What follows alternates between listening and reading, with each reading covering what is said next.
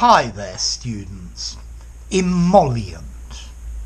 Okay, an emollient is either a noun or an adjective. It has two meanings, but they're linked.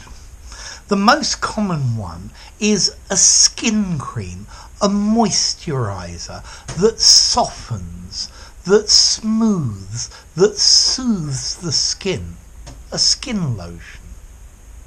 This face cream is an emollient that will help look after your skin. Aloe vera is a good emollient for sunburnt skin. If you get sunburn, break a bit of aloe vera and rub it on. It works nicely. So the aloe vera soothes or mollifies the pain.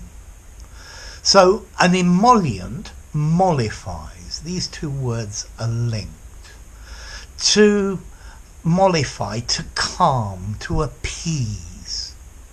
And then we can use the word emollient to talk about things that calm somebody's mind, that make something more acceptable. I guess the lullaby a mother sings to a baby is an emollient to put it to sleep. The recent tax cuts by the government has acted as an emollient to an angry population. They've calmed down a bit. Calm, relaxing music is used as an emollient for stressed people. It calms their mind. His emollient way of dealing with patients makes him a really good doctor. So emollient as an adjective, soft, smooth, smooth, soothing, calming. A couple of drinks were a good emollient for his bad mood. Money is often a good emollient when people are angry about something.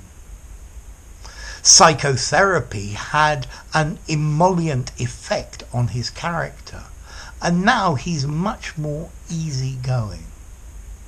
So, emollient, a cream, an ointment, a medicine that soothes, um, that moisturizes, that conditions your skin and maybe alleviates pain as well.